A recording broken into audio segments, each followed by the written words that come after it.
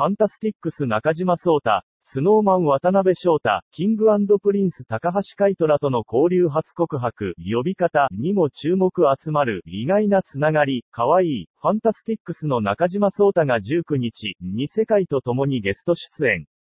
意外な交友関係を明かした。中島颯太、渡辺翔太、高橋海人らとの交流を告白この日の放送では、FANTASTICS チームとニュースチームに分かれ、ボンバーマンシリーズ最新作のスーパーボンバーマン R2 を4人でプレイし、3つのモードで3番勝負を行った。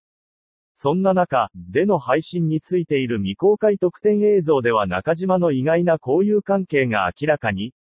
ニュースの小山慶一郎から、うちの事務所で仲良い人います。と聞かれた中島は、結構多い、とし、 Snow Man とかだったら翔太くんとか仲良い、と Snow Man の渡辺翔太と食事に行く仲だと告白。